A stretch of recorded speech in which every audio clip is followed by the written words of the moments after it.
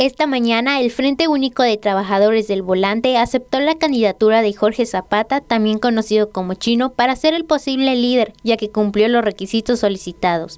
Durante el acto, socios que lo respaldan tomaron la calle 54 del centro histórico y echaron porras. Indicó que después de muchos años ha surgido una plantilla opositora que hará historia.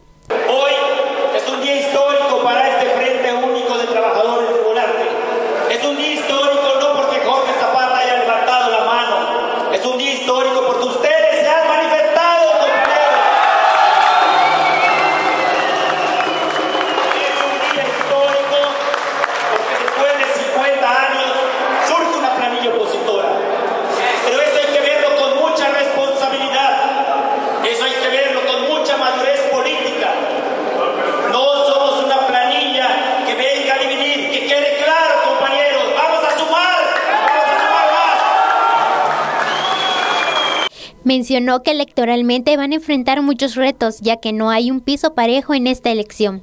Hay una situación de que no hay un piso parejo en esta elección.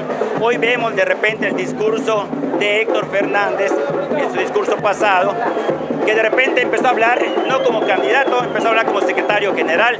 Entonces tiene él muy bien que ubicar su discurso. Hoy en día vemos que está entregando concesiones las está entregando físicamente cuando esas concesiones fueron emitidas en el 2017, o sea que las tenía retenidas para ahora entregarlas. Eso confunda el electorado. Hay que ser muy claros, muy honestos, muy transparentes.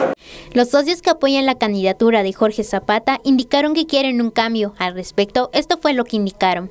Estamos seguros que Jorge Zapata va a ganar. Venimos totalmente convencidos, sin presión, porque estamos convencidos que es nuestro próximo secretario general.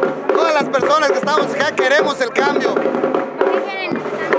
Porque ya estamos cansados de los malos manejos de nuestro sindicato. Es muy buena la calidad del sitio de Zapata. Queremos un cambio para el bienestar de los socios.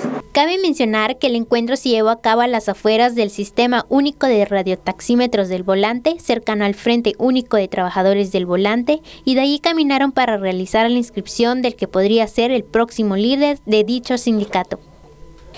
Con imágenes de José Flores, informó para Noticieros Telesur, Katia Castañeda.